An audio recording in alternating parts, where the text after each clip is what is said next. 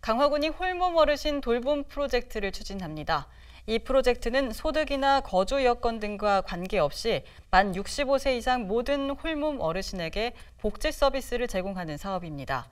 이를 위해 강화군은 다음 달까지 홀몸 어르신에 대한 전수조사를 벌입니다. 또 7월부터는 본격적으로 사업을 추진할 예정이며 홀몸 어르신에게 말벗 서비스를 제공하고 건강 상태를 정기적으로 확인할 계획입니다.